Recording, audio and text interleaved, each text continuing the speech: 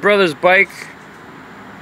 Couldn't get it to run right. Cleaned all the carburetors. But I did notice the slides, when it was running, these slides were jumping up and down like there was a problem with the vacuum, which I suspected a bad intake valve. So I was able to get the piston on top dead center. You can't see because of the camera, not enough light in there, but I, I was able to see the valves when I turned the intake valve open, the exhaust valve open, closed, blah, blah, blah. I know this is on top dead center. I put compressed air into the cylinder and I hear the air coming out of the carburetor, which is an indication of a leaky intake valve, which will mess up the vacuum and you'll never get the fucking thing to run right. So we have to do the intake valve. It has to seat properly.